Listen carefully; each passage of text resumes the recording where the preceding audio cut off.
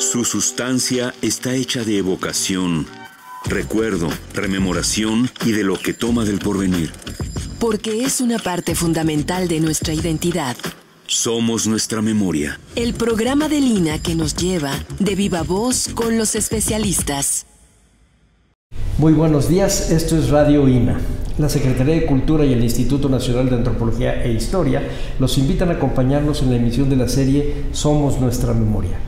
Hoy contamos con la presencia de Roger Bartra. Yo soy Salvador Rueda.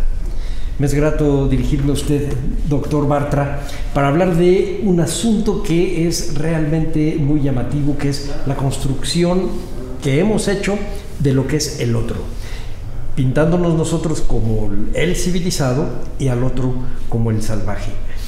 Eh, usted eh, escribió hace ya algunos años un par de libros que son sensacionales para saber esto. Uno se llamaba El salvaje en el espejo y el otro El salvaje artificial y ahora se juntan en un solo tomo y no ha perdido vigencia eh, su lectura.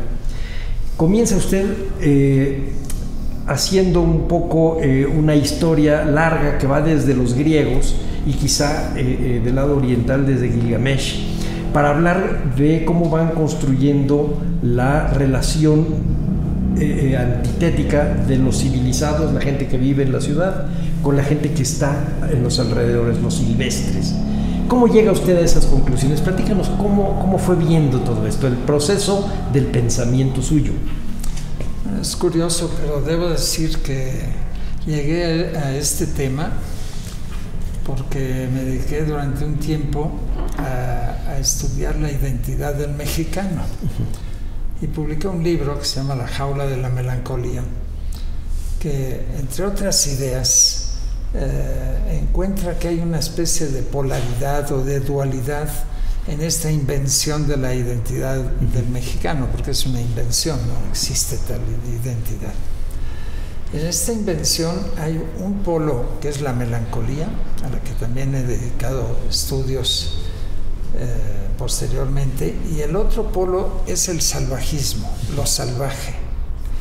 Cuando terminé mis estudios sobre la identidad del mexicano, y publiqué La jaula de la melancolía, publiqué otros ensayos más cortos eh, sobre el tema, eh, decidí hacer un corte en mi trabajo de investigación, dar un salto más bien, abandonar los estudios sobre México y seguir la pista de los dos mitos, el mito de la melancolía y el mito del salvaje. Pensé, como un antropólogo mexicano, pues... Eh, debía interesar ir a lugares lejanos, exóticos, etc. Pero pensé que un lugar lejano y bastante exótico era Europa. Y Europa era el origen de estos mitos. Me interesé pues mucho por el, mito del salvaje y decidí hacer una especie de etnografía o de historia etnográfica del mito eh, del salvaje en Occidente, sobre todo eh, en Europa. Eso me ha interesado durante mucho tiempo, así que el origen de mi interés por esta otredad es justamente la invención del yo mexicano, la invención de la identidad nacional, del carácter nacional del mexicano, que tiene muchas raíces en toda la historia de las ideas y de la cultura del siglo XX y desde antes eh, incluso. Así que eh, las raíces están aquí, en México y buscó un lugar exótico que es Europa. Un lugar exótico que es Europa.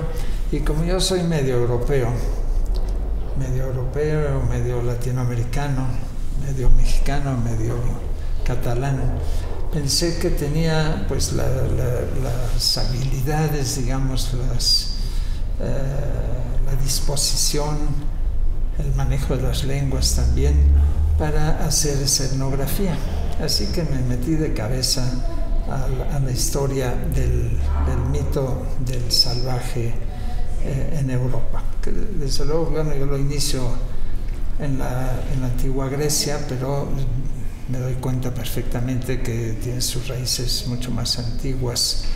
Posiblemente uno de los más antiguos salvajes es Enkidu, que forma parte del ciclo Gilgamesh pero bueno, me interesaban básicamente los agrioi, los salvajes eh, eh, griegos. después sigue con los romanos. Al mismo tiempo, a mí me pareció que seguir la historia del mito del salvaje, que como digo por ahí, es un poco como mirar la historia por el ojo de la cerradura, espiando los secretos de alcoba de los acontecimientos, también reflejaba, también podía reflejar dimensiones de la historia, de la historia europea, de la historia del occidente europeo, que, que no se veían tan fácilmente a partir de estudios históricos más tradicionales, que el estudio de, de, la otredad y de las encarnaciones míticas de la otredad, especialmente hay muchos mitos de la otredad, no es el único del salvaje, pero especialmente este, eh, me parecían especialmente sintomáticos y que podían dar claves para entender la, la, historia europea. Y de hecho mi libro yo creo que es una especie de panorámica de la historia europea, sí, sí. pero vista a través de los ojos, digamos, de un antropólogo que persigue a estos seres fantásticos y mitológicos que son las mujeres y los hombres salvajes eh, de, diferentes épocas. Bueno, sí, eh, digamos que una de las, eh, de las claves para entender que está hecho por un investigador mexicano está en el principio. La primera pregunta es, ¿cómo llegan en el barco de los conquistadores esta idea de los salvajes, pero que ellos a su vez tienen que dar respuestas a lo que están viendo ahí, que son a los, eh, a los indios. Claro. ¿Quiénes son? Y entonces que los está confrontando y seguramente les debió haber causado algunas dudas, no creo que tantas. Pues algunas sí, porque eh, se enfrentaron a un problema, digamos, de clasificación, para entender qué es lo que eran estos indígenas extraños que estaban conquistando y, y aplastando y descubriendo y eh, en realidad tenían dos opciones y, fueron discutidas eh, ambas. O bien eran especies de representantes de, de, los infiernos, del demonio, del mal, o bien eran unos seres eh, semi-animales pertenecientes al mundo de la naturaleza.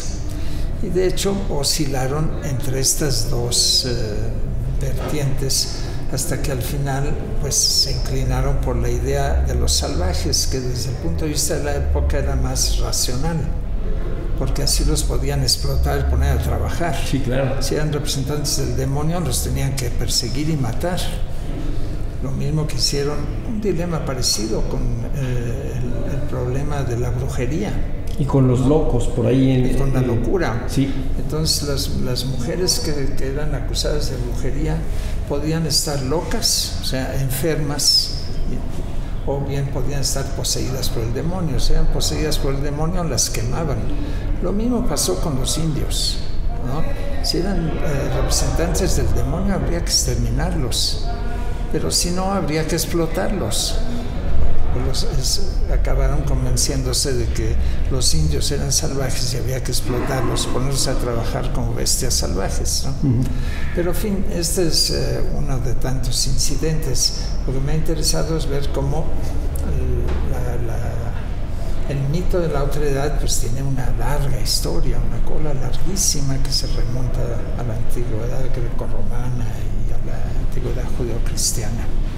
Sí, además eh, usted hace un manejo interesante, eh, digamos una doble lectura en su libro, porque uno puede leer los textos que usted propone y además puede uno leer solamente las imágenes. Y entonces sí hay una serie de, de relaciones que van encajando eh, para tratar de eh, entender la otra edad. Pero la primera es que se trata de otro hombre, no se está tratando de otro ente, no estamos hablando de bacterias o de extraterrestres, sino es otro hombre con características animales, que eso es lo que eh, eh, lo hace eh, ubicarlo en los bosques, en la selva, incluso en el desierto, y que lo que hace es que confronta al civilizado, tanto con los griegos como con los primeros cristianos, y acaba siendo finalmente un personaje de carnaval carnavales suizos todavía hoy en día se pueden contemplar los hombres salvajes eh, bailando ¿no? en, diferentes, en, en diferentes carnavales, eh, etc. Pero bueno, en realidad la, el mito del salvaje sigue muy vivo. Sigue muy vivo y, bueno, es un salto en el tiempo tremendo, pero lo he seguido estudiando y ahora eh, en Lina, en coedición con el Fondo de Cultura Económica, va a publicar un libro mío que, es, sobre los salvajes en el cine. Eh, es un poco la historia, como digo, notas, porque son, tienen un carácter también etnográfico sobre un mito en movimiento. De repente el salvaje se mueve, porque las imágenes cinematográficas justamente permiten el movimiento. Lo que muestro en ese libro es que el, mito del salvaje sigue vivo hoy en día. Bueno, y vivo hasta el, cine de Antonio del Toro, que acaba de presentarnos una especie de salvaje. Guillermo, del Toro. Perdón, Guillermo del Toro, sí, te dije. Antonio el poeta. el poeta. Querido, poeta. sí, que creo que está enfermo. Sí. Este, gran amigo mío, gran poeta. Gran poeta, sí. Este, Guillermo Toro nos presenta un ajolote salvaje. Sí este, impresionante, este, peligroso y al mismo tiempo tierno, en fin. No sé si él es consciente que está retomando esta tradición, pero posiblemente sí, pero en todo caso el cine desde sus comienzos ha recogido el mito del salvaje. Porque a lo mejor no importa si, si del toro es consciente o no el chiste es el público. Si sigue siendo ese salvaje el espejo de uno mismo, es decir, que sigue uno dibujando la otra edad. Y si eso es así, entonces se refuerza una línea que usted maneja en su libro que es eh, cierta compactación de la cultura occidental, es decir, efectivamente podemos trazar una línea genealógica desde los griegos o de los monjes eh, de la Tebaida hasta nosotros, porque el comportamiento del cerebro va siendo el mismo. Claro, ahí hay un, gran problema a explicar, que, es, es, la dimensión o la beta teórica de mis investigaciones sobre el salvaje. ¿Por qué hay esa continuidad? Ese es, ese es un, misterio. Y, puede haber varias explicaciones. La, explicación estructuralista más eh, conocida, digamos, la de Levi-Strauss, plantea que de alguna manera existe una especie de, módulo cerebral en el cual están alojados poco a la manera de Jung unos arquetipos y que eh, de manera permanente en todas las culturas van a estar este, irradiando imágenes que se van a ser transformadas en, míticas. Yo, yo yo no estoy de acuerdo con la interpretación estructuralista en sus diferentes eh, variantes. Yo, yo lo que trato de desarrollar ahí, y creo que, lo logro, es una interpretación evolucionista. Evolucionista incluso en el sentido darwiniano. Mm. A mí me parece que la continuidad se explica por un mecanismo de selección. Eh, no es exactamente aquí selección del mito más apto, pero sí de una adaptación. Es decir, que la continuidad del mito se explica ex post facto, no, no, no está predeterminada, no hay un Big Bang mitológico que no hay un chip cerebral que nos está irradiando ideas sobre el salvaje, ¿no? sino que es la historia misma y, el proceso en que se van heredando tradiciones y costumbres y mitos lo que lo explica. El mito podía haber quedado interrumpido con muchos mitos, ¿no? muchos mitos quedaron... Y seguramente sí, o sea, se fueron por una rama diferente. O, o simplemente quedaron cortados. Este no, este no. Y entonces a mí me interesa ver por qué en cada época había condiciones hubo condiciones para que el mito volviese a arraigar, generase nuevos significados, pero arrastrase también los significados antiguos. Entonces, este proceso, observado en diferentes culturas, en diferentes tiempos, en la primera parte contrastando las tradiciones grecorromanas con las judio-cristianas, después examino eh, las tradiciones medievales y así sigo pues hasta nuestros días. Y lo que me interesa es ver qué, qué, es lo que permite que se recupere. Entonces yo creo que hay esa esta peculiaridad de que eh, hay elementos del viejo mito que siguen siendo útiles para, eh, de la misma manera que lo fueron en la antigüedad, para reforzar la identidad de una persona, de un individuo, de un pueblo, de una civilización, de un continente. Ese, el, tema de la identidad y la definición de la identidad sigue vivo y por lo tanto el mito es útil y es modificado, es transformado de muchas maneras, pero eh, sigue vivo porque el problema de la identidad sigue siendo en las culturas modernas un problema candente, un problema vivo. Vamos a interrumpir un segundito nada más en lo que se baja, en lo que están entrando las... Y a mí me interesa lo que está usted diciendo sobre el mito vivo y, y su diferencia con los estructuralistas. Este, me gusta lo que usted dice, Stephen Jay Gould estaría encantado con el asunto sí, sí, bueno, él, me, él, me, ha influido muchísimo ah, a mí, yo lo he leído muchísimo. ¿no? Bueno, a mí pues igual. Y lo conocí también. ¿Ah, sí? Sí, sí, en Estados Unidos. Ya en una conferencia que dio en Baltimore. Entonces cuando yo vivía en, Baltimore. Así que sí, no, yo conozco bien, bien su obra. Y por cierto que también me influyó en sus estudios sobre el ajolote. Okay. En ese es otro libro que publicó Lina también, La Joloteada, ¿no? Este libro sobre pues, el mito del ajolote. Sí, sí. Esa es la historia de la identidad del mexicano. Vamos a regresar un poquito a, la, a, la, idea de los mitos finalmente funcionan porque se trata de eh, explicaciones, son vivos porque tratan de explicaciones a preguntas sobre la identidad de individuos o de, o de culturas, pero eh, no son o, no caben, digamos, los arquetipos jungianos porque eh, los mitos no son los mismos para todos los seres humanos. Eh, una cosa que me llamaba la atención cuando yo leía su, releía su libro eh, para preparar esta, esta plática era cómo pensarían al salvaje los japoneses, si es que llegaban a pensar en algo parecido al salvaje. En el cine sí, hay un salvaje por ahí en alguna de las películas de Kurosawa, pero eh, en términos de cultura, ¿cómo lo llegaban a pensar?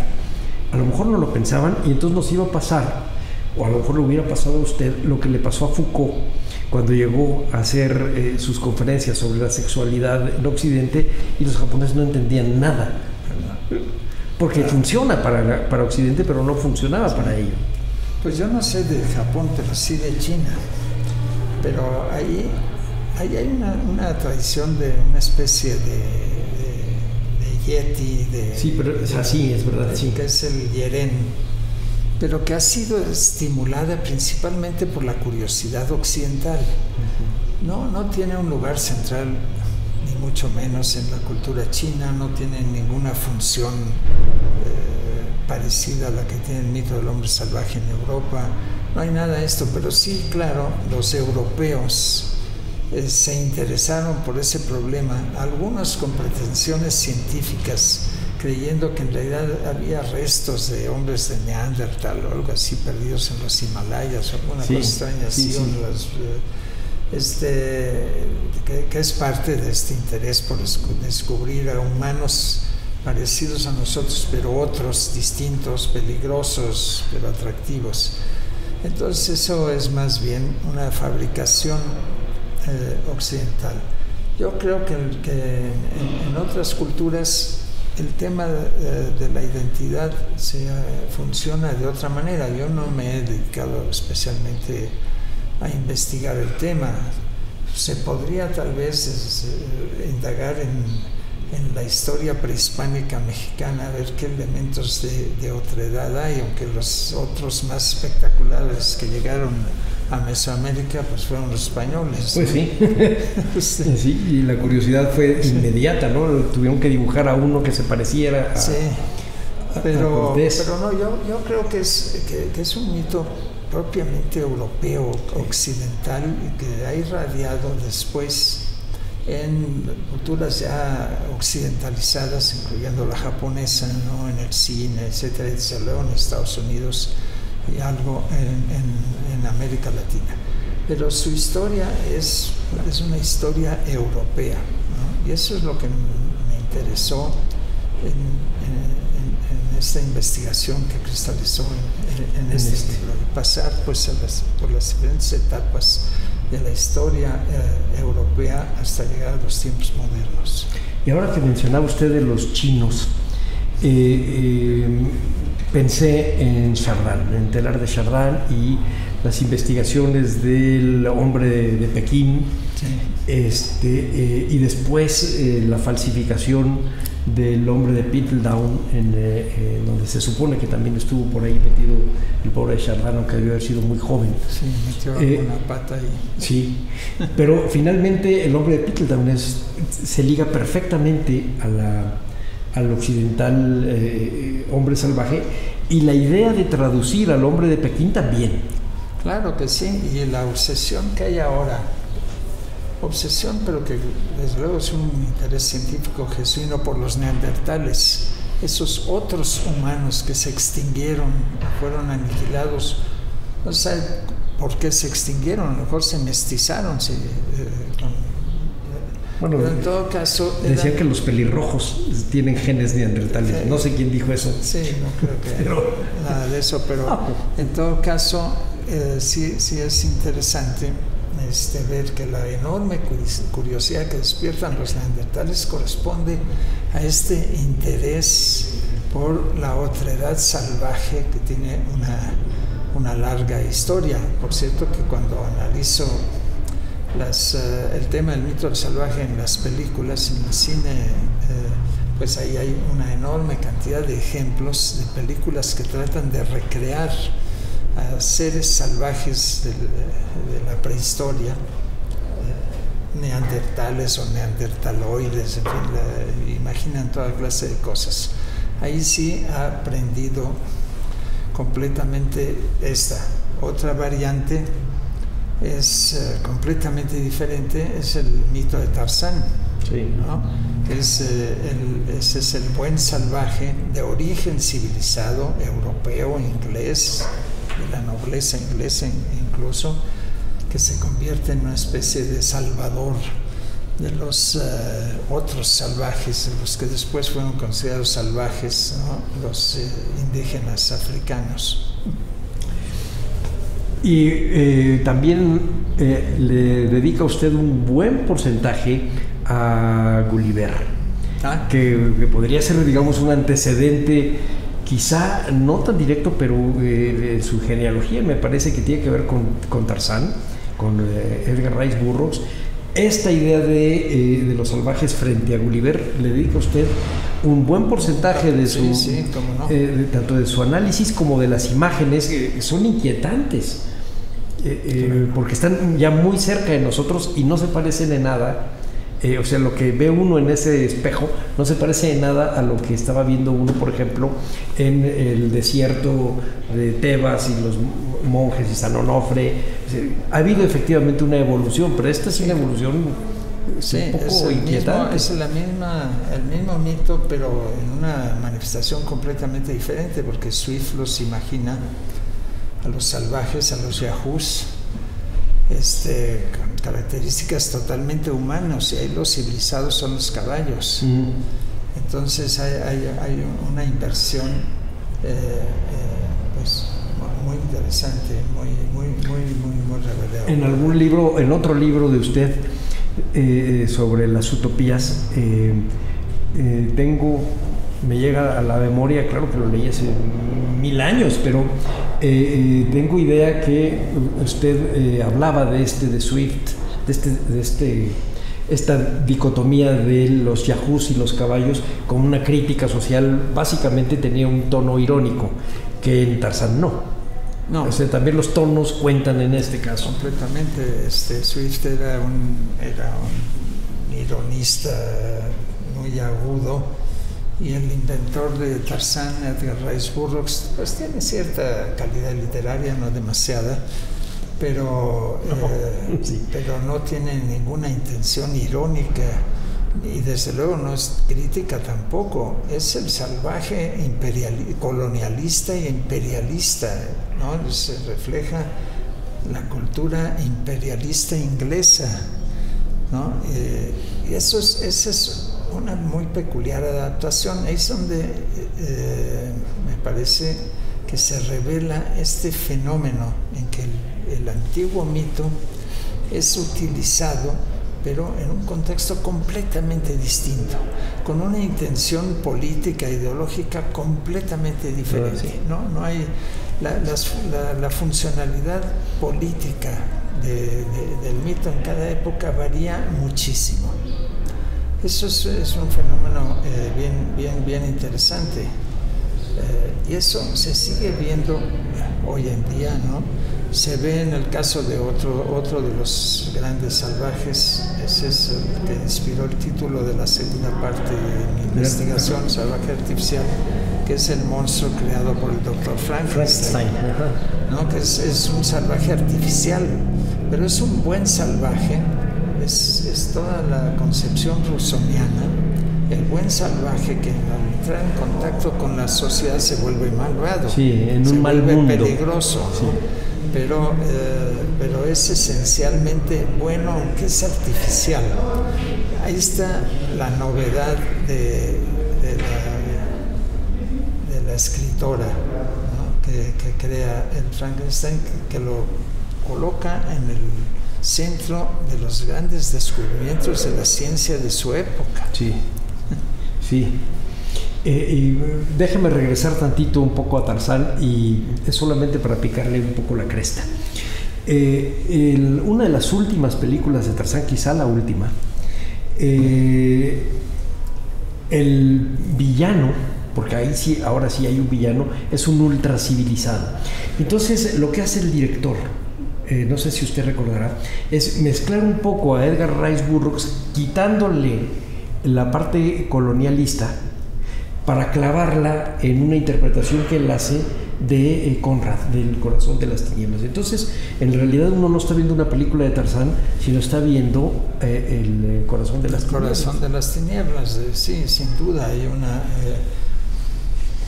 eh, hay eso, yo creo que es la última, me parece. Y algunas de las anteriores también tienen, eh, tienen ese elemento.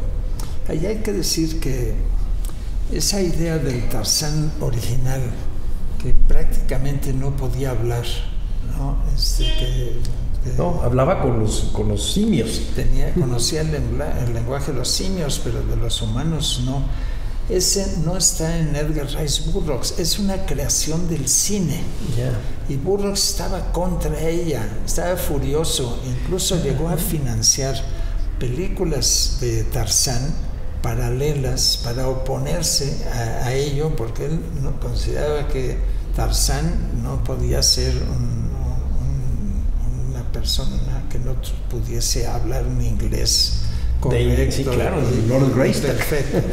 O sea que esa parte sí es la influencia del mito del salvaje en el cine, saltándose incluso al propio Autor. autor, Rice Burroughs de, de la trama de Pues.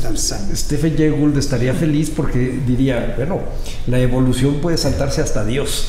Claro. Así que ni Y modo. de hecho, bueno, los salvajes, eh, también hay salvajes hiper sofisticados, uno de ellos lo menciono en la época griega, que es Quirón, Ah, sí. ¿no? el, el centauro, centauro. sabio, que es el padre de la medicina. Sí, sí. ¿no? De ahí viene la palabra cirugía, Quirúrgico, ¿no? lo quirúrgico.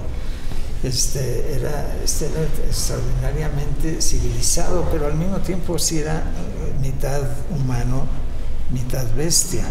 Entonces eh, es, una extraordinaria plasticidad el mito, de tal manera que pues es, es, un, es un poco difícil eh, no caer en la tentación de que hay una estructura inmanente ahí, ¿no? Caer en la tentación del estructuralismo. Pero yo me inclino siempre más en una explicación histórica, evolucionista. Después tenemos eh, el caso de, salvajes que no son imaginarios, que existieron realmente. Bueno, este es el caso de, Julia Pastrana. Julia Pastrana, una mexicana supuestamente de, Sinaloa, ¿no? En realidad parece que venía más bien de Sonora, bueno, que no se sabe muy bien, eh, y que sufría de hipertricosis y, que fue aprovechada como tantos otros eh, otras personas anormales con eh, diferentes problemas, pero sobre todo los que eran peludos y peludas pues para eh, mostrarlos en calidad de salvajes. En los circos. En, los side shows que se llamaban de los circos, de los grandes círculos, de los grandes circos, circos norteamericanos.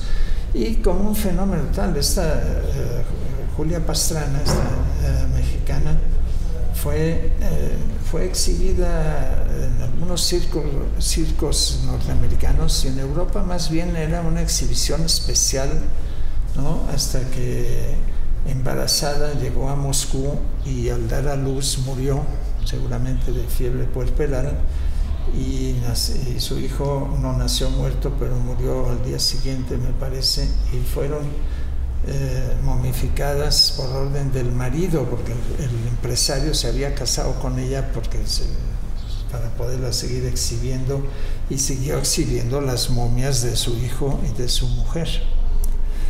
aquí cuento toda la historia. El salvaje es el marido.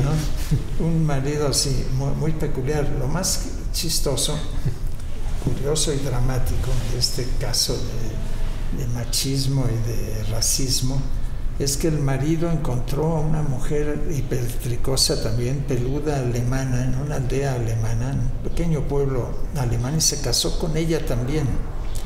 Y entonces viajaba por Europa exhibiendo a la nueva mujer y a las dos momias, hasta que parece ser que la, mujer viva este, empezó a sentir celos de las momias y se deshizo de ellas y entonces hay toda otra historia de las momias que yo sigo en ese ensayo con cuidado, paso a paso, eh, hasta que son devueltas a México. Este, bueno, nada más la momia de Julia Pastrana, ya muy deteriorada, que se conservaba en la Universidad de Oslo y es eh, enterrada de nuevo en, en Sinaloa en un acto verdaderamente grotesco, ¿no? Este, ¿Más o menos cuándo, doctor?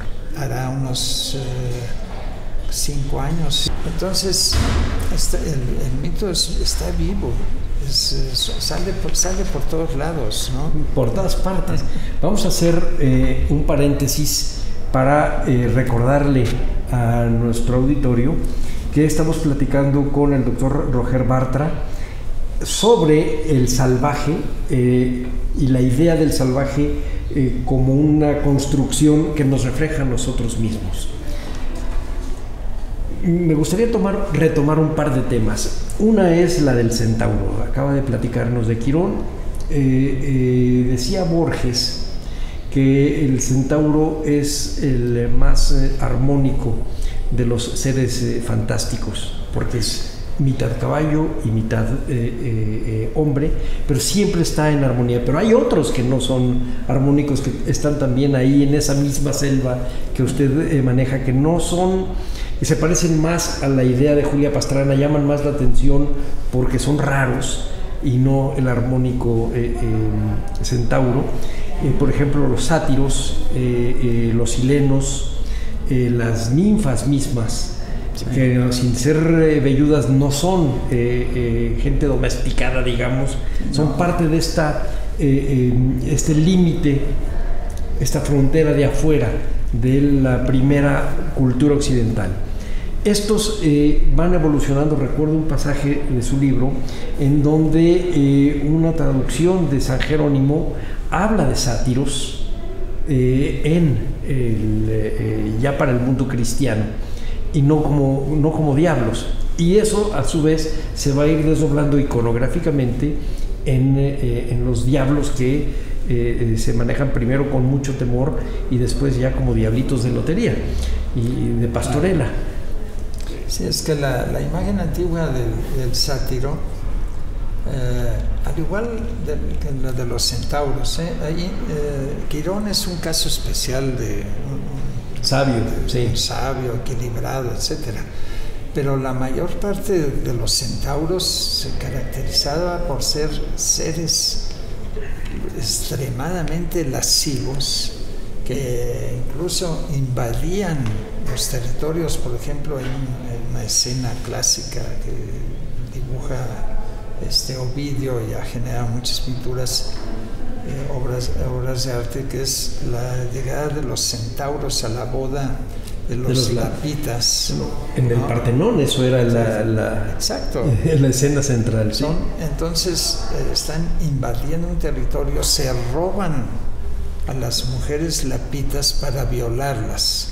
Bueno, los sátiros funcionan de manera muy, muy similar, tienen elementos también de bestiales, de macho cabrío, ¿no? Su- sus órganos sexuales este, recuerdan más las de un macho cabrío que las de un humano. Por cierto, con los centauros también había una discusión de dónde tenían los órganos sexuales, si entre las patas de atrás o entre las patas de adelante. Bueno, es otra. En la Que por ahí hay esculturas que tienen las dos. y tienen las dos. Sí. Entonces, eh, es interesante esta influencia de la imagen del sátiro, del macho cabrío cruzado de humano, en la iconografía cristiana para dibujar a los demonios, a los, eh, a- al diablo. Yo, es una cosa que, que- que quiero eh, subrayar, elimino completamente de mi libro toda, toda la temática del demonio, aunque desde luego el demonio con mucha frecuencia eh, es representado con características bestiales, con cuernos, con cola, peludos, etc. Con rasgos de macho cabrío, todo eso.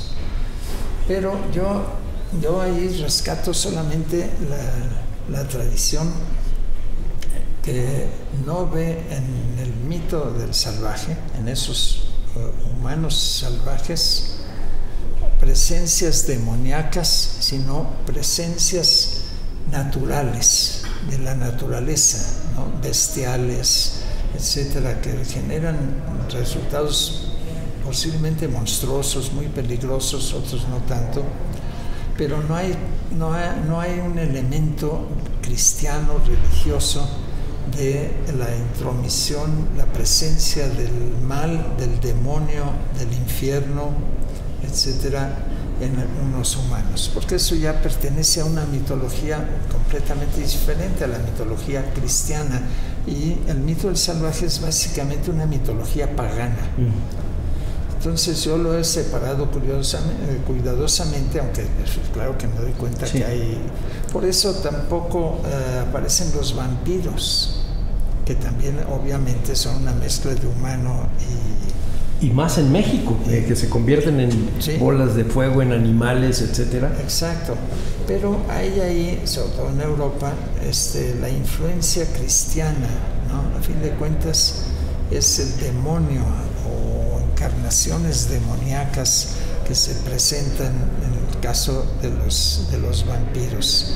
Entonces, eh, yo los separo de la mitología propiamente cristiana este, mito salvaje que es principalmente una mitología pagana, que tiene otras raíces eh, muy diferentes. Pero va a acabar haciendo el, el ensayo, va a ver por qué.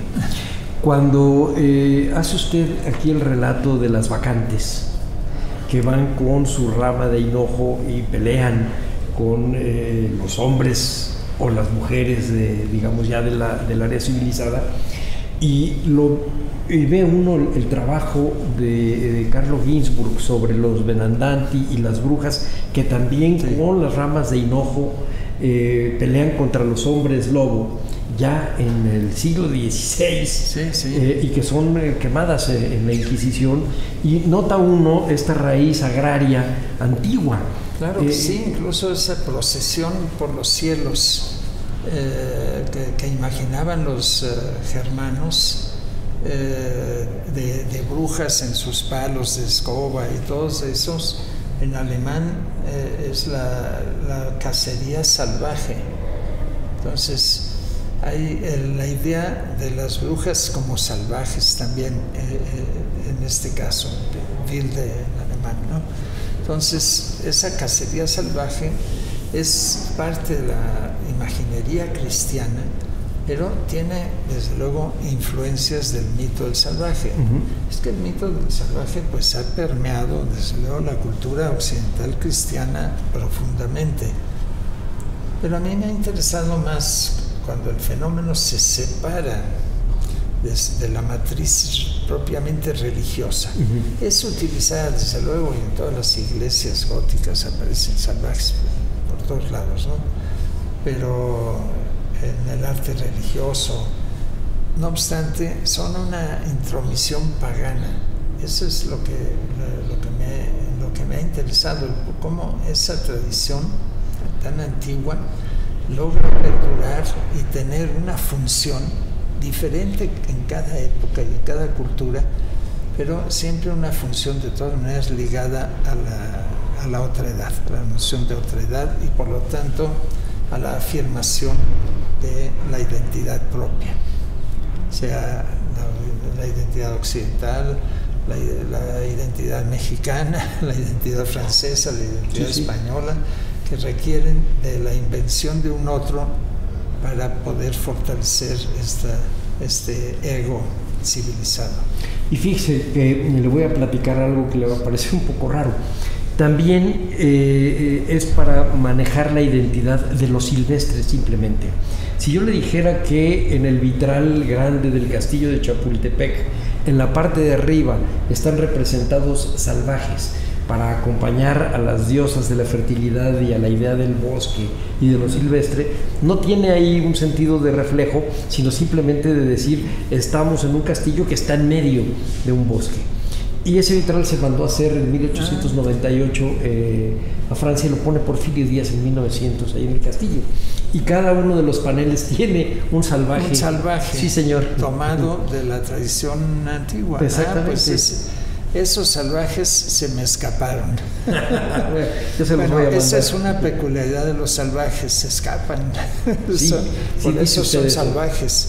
Ah, pues voy, a buscar, bueno, voy a ir más bien a, verlo. Yo se lo voy a mandar para que lo, ah, pueda usted ver. Por favor, este, me gustaría tener algunas reproducciones de los vitrales. Y le voy a mandar también de las vacantes, porque también tienen que ver con lo que usted maneja de estas mujeres en, el, en éxtasis, pero a ver las vacantes que manda hacer eh, eh, Maximiliano, las de Santiago Rebull, que ya no tienen que ver tampoco con la idea antigua. Es decir, pasa algo de lo que usted maneja en su libro y que tiene un cierto eco nietzscheano. Los domestican. Claro, son domesticados, bueno, como los salvajes que sostenían los escudos en las, eh, de los señores heráldicos, ¿no? ya estaban completamente domesticados, pero su salvajismo servía para proteger al amo. Ya eran bestias domesticadas como el perro, etc. Este, pero seguían siendo humanos. Y bueno, hoy en día, si nos tomamos una copa de buen whisky de Malta, Glenfiddich, se observará que el escudo de la, marca Glenfiddich está sostenido por dos salvajes con su garrote. Claro, no nos, ya no tiene mucha influencia ese hecho, ¿no? Eso sí es completamente marginal, lo, viene de la, del medioevo, de alguna manera lo heredaron, pero ahí está presente, pero en cambio en otros fenómenos como en el cine, ahí es espectacular, ahí sí está presente. Y usted maneja también otro tipo de, mujeres salvajes mixtas, no habitantes de los bosques, sino de los mares, que son las sirenas. Las maneja cuando menos marginalmente. Eh, y ahorita me acordé por lo que usted dice de, en este whisky. Bueno, si se toma uno un café de conocida marca verde, tiene uno la sirena de dos colas que es hermana de Alejandro, y es un mito medieval también. Sí, exactamente, son, eran desde luego peligrosísimas mujeres salvajes, ¿no? Realmente, sí, aterradoras, tal como las presenta Homero, desde luego. Entonces, es un mito polivalente, todos los mitos son polivalentes. Pero este ha sobrevivido de una manera extraordinaria, por eso me, por eso me ha interesado. Es claro que hay otros, el mito de Eros, por ejemplo, bueno, pues sí, pues va este, pasando de una, de una época a otra, etcétera. No es el único mito antiguo que sobrevive, pero me, ha parecido que siendo yo antropólogo, eh, yo tenía casi el deber, la obligación de, estudiar a estos salvajes míticos, ¿no? Este, imaginarios, que de alguna manera eh, habían sido utilizados para definir el objeto de estudio de los antropólogos. La antropología francesa hasta la época de Lévi-Strauss, hasta la época de Lévi-Strauss hablaba de, de, los salvajes para referirse a los primitivos, ya tampoco se utiliza esa, esa expresión, pero cuando yo estudié antropología, en los años 60 se hablaba todavía de las sociedades primitivas. Y el pensamiento salvaje se llama el libro de... La pensée sauvage, sí. el pensamiento salvaje de Lévi-Strauss. Se hablaba, hoy en día ya no se utiliza, se utiliza muy poco la palabra primitivo para referirse a los otomíes o los mayas, ¿no? O, o los habitantes de, de Nueva Zelanda, qué sé yo ya eh, también salvajes, eso sí está completo. Eso no se utiliza no. cuando yo estudié antropología en los 60, pero primitivos sí. De alguna manera este mito, este, y tal, la manera como encarnó, o sea, utilizó el concepto eh, para aplicarlo a los habitantes de África, Oceanía y América, pues es el objeto de estudio de los antropólogos, así que me pareció que era muy interesante meterme en ello, pero uh, descubrí que tenía unas ramificaciones impresionantes. No, bueno, eh, tan impresionantes que en una hora piense usted todo lo que hemos viajado, de Julia Pastrana o del cine a los mitos más antiguos de los griegos, a toda la sí. fauna eh, eh, del mar, de los bosques, eh, a lo que tenemos en la cabeza todavía hoy, a la literatura, un poco desordenadamente, pero eh, lo que estamos haciendo es dibujar el marco de un, eh, de un mito esencial que ha ido evolucionando, pero que sigue siendo nuestro espejo. Desde luego, es el espejo en el que necesitamos reflejarnos, asomarnos para afirmar nuestras identidades tambaleantes a veces, ya sea individuales y sobre todo colectivas.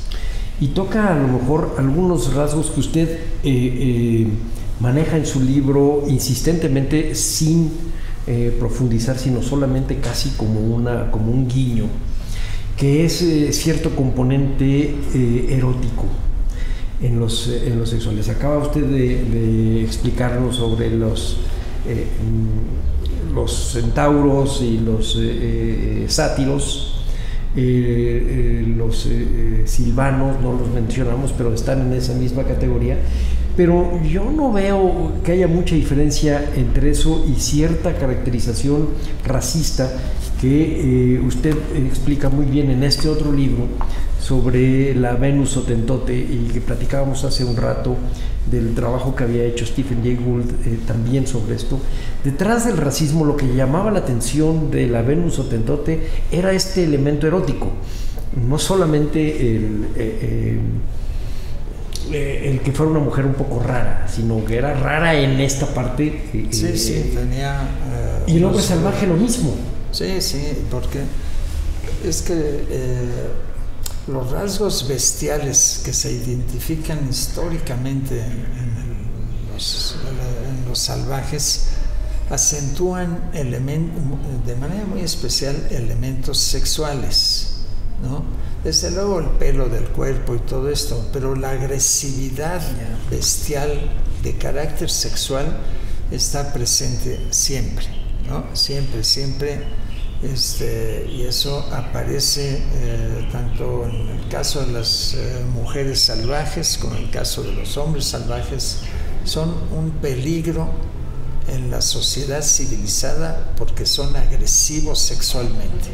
Se raptan a las mujeres, las mujeres salvajes raptan a los eh, hombres. Los Eso siempre este deíta, ¿no? Sí. Son las, las salvajes de Las salvajes, sí. Sí, tremendamente agresivas sex- de manera sexual, de manera muy clara, ¿no? Y eso, pues en el cine actual, eso eh, se, se- se mantiene un tanto edulcorado, así como también pierden el vello. Tarzán no es peludo y tampoco es agresivo sexualmente, ¿no? Pero de todas maneras el cine juega con cuerpos masculinos muy musculosos, ágiles, etcétera, que sin duda, aunque en, la trama de las películas no hay una atracción sexual, no, no tiene un, un juego, son, son una época muy puritana del cine norteamericano además, pero sin duda están buscando en los espectadores, sobre todo en las mujeres, este, generar una cierta atracción sexual.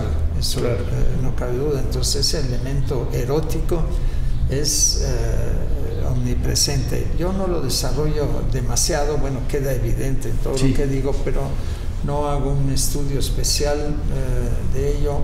Algunos lo, lo han explorado, pero yo no, no enfatice ese aspecto. Y sí, pero sí lo deja ver usted en los dos, en los dos términos, tanto en el atractivo como en el repulsivo, como en el caso de, de Julia Pastrana. Lo que llamaba la atención era que fuera una mujer tan, tan masculina, por decirlo de alguna manera. sí, sí. Eh, eh, es decir, el, el juego del erotismo está también en nuestra identidad y quizá si en alguna cosa los estructuralistas pudieran tener razón sería hasta allá, hasta esta po- este fondo biológico Sí. del ser humano, no el histórico, pero el biológico sí. Sí, no, desde luego que hay un fondo biológico, pero ahí ese fondo biológico es todavía más eh, presente en la perspectiva evolucionista. Sí. O sea, sí hay un, eh, un elemento biológico muy importante y el hecho de que haya la- evolución del mito recuerde la evolución de las especies, recuerde los procesos de selección na- natural, pues es, algo importante que eh, habría que explorar, ¿no? Sí, claro, ¿no? y, y desarrollarlo así. Fíjese que eso no, que ahorita nos está explicando, no viene en el libro, pero nos hace entender, híjole, ojalá en, en una siguiente edición pudiera usted meter una pequeña nota, porque nos aclararía muchísimo del proceso no lineal de, eh, de este mito en particular del salvaje y además claramente occidental. Sí, Eh, eh, porque no, no se refiere a otros, es a nosotros. sí, sí, no, es, es un mito occidental, muy antiguo, de antes de que existiese la misma noción de occidente, ¿no? Sí, claro. pero en fin, son las tradiciones mesopotámicas, por ejemplo, bueno, acabaron asimiladas en las tradiciones judeocristianas de alguna manera. Y en ese sentido son eh, occidentales, Sí. no especialmente europeas, pero desde luego la tradición judeocristiana eh, es el marco de desarrollo muy importante de la cultura europea. Y, y ahí va todo esto, esta tradición judeocristiana va con el mito del salvaje. Sí, de- No se escapan, los No, no. salvajes aparecen por todos, lados. Los civilizados los persiguen, los, eh, son perseguidos siempre por los salvajes. y, y, bueno, en el caso de la cultura occidental yo recuerdo esta frase de Steiner de finalmente vivimos en la paradoja de la ciudad de Platón y la de, y la de Isaías. O sea, finalmente Sí. es esta, eh, este cruce de caminos oriental y occidental eh, lo que hace que nosotros pensemos como estamos. El quebranto está cuando nació América, que es como empieza usted eh, ese Sí. libro. Es decir, el quebranto está en, y ahora qué hacemos con estos que están en este lugar que no, no debían Sí. existir. Sí, sí, que son de carne y hueso, no, no son míticos, pero se parecen algo a los míticos, o, se- o podemos, se preguntaban los españoles de aquella época, podemos utilizar el mito de esos salvajes ¿no? que, que- que- que- que nos rodean y que se han visto en las catedrales, etcétera, para entender a estos. Claro, el primer choque es que no eran peludos, ¿no? Pero eh, la desnudez podía tener un elemento similar al, ser peludo, porque el peludo demostraba ese carácter animal, bestial. Las bestias andan desnudas, pero bueno, se supone que les viste el pelo. Estos indígenas americanos no tienen, no tienen pelo, pero andan desnudos. Bueno, eso creían los, los conquistadores. De hecho, no andaban desnudos de ninguna manera, es otra concepción.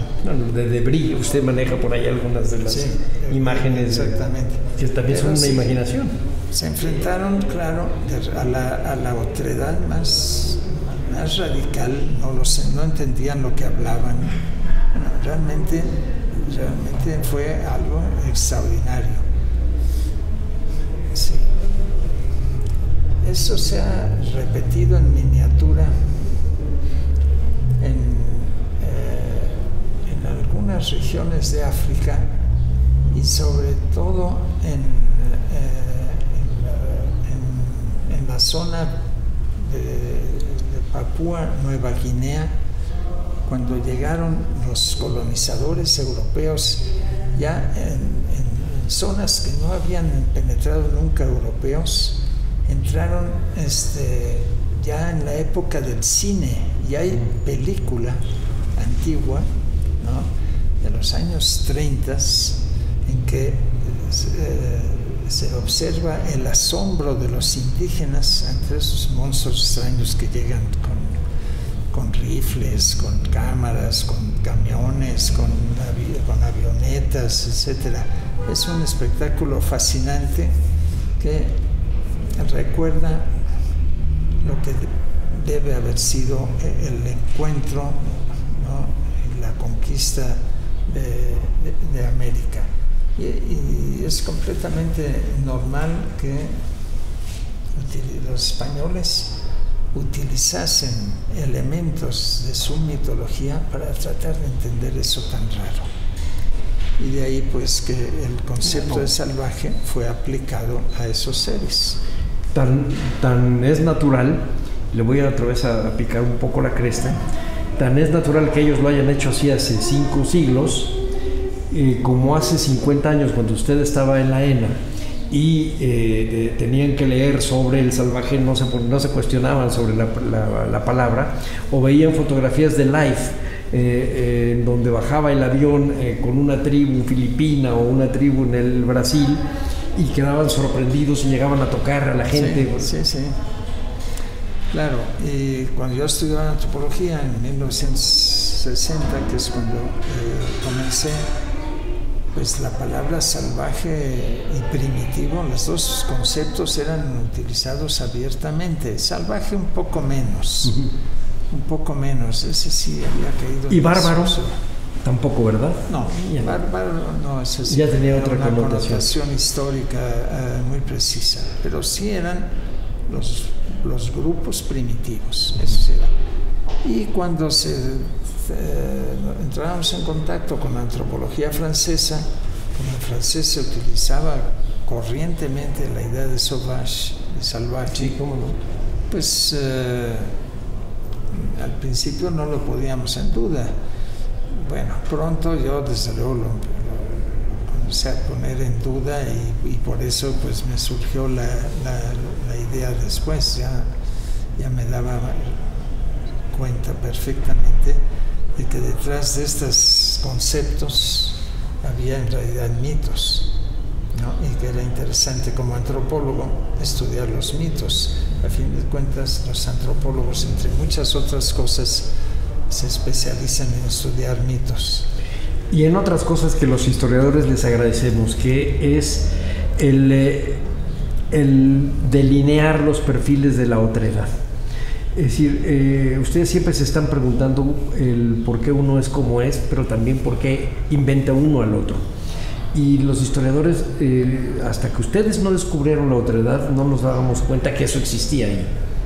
Lo habían trabajado durante mucho tiempo. Pero la no lo historia es definido. una disciplina que, que es mucho más antigua que la antropología. Sí, cómo no. Y habían trabajado esto, bueno, desde la época de Herodoto, en, realidad. Por eso vino la palabra bárbaro que le preguntaba yo hace un rato. Sí, sí. Pero no nos preguntábamos como ustedes de dónde viene esto, sino lo dábamos también por un hecho. Claro, entonces, bueno, ahí es donde la, eh, la colaboración entre diferentes tradiciones disciplinarias este, produce resultados muy buenos. Yo estoy enormemente agradecido a a la historia y yo creo que estos libros escritos sobre salvajes son libros de historia sí, ¿cómo no? son de antropología, son de historia, este, incluso diría de sociología, es mi, otro de mis alter egos es la sociología. De hecho, yo en Francia eh, lo que estudié fue, no fue antropología, sino sociología, mi doctorado es en sociología. Y por eso está usted y también trabajo en un instituto en donde hay algunos antropólogos, pero principalmente es un instituto de sociología. Y, la colaboración con sociólogos como con historiadores o biólogos ¿no?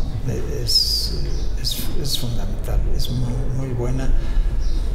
Las disciplinas tienen que eh, eliminar bastantes de sus fronteras sin tirar a la basura el instrumental teórico y práctico que han acumulado. ¿no?